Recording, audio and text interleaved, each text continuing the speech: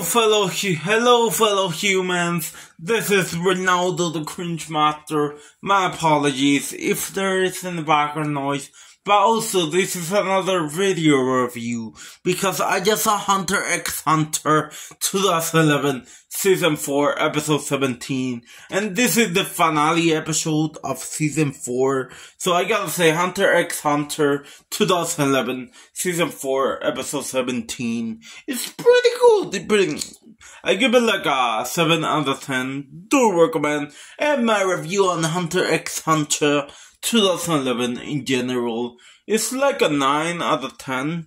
Season 4, my review on Hunter x Hunter 2011 Season 4 is like a 9 out of 10.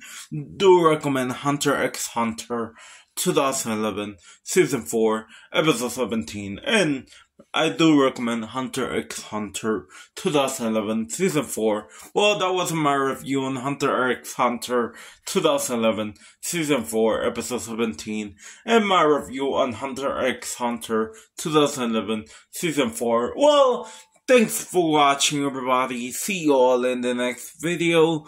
Goodbye for now.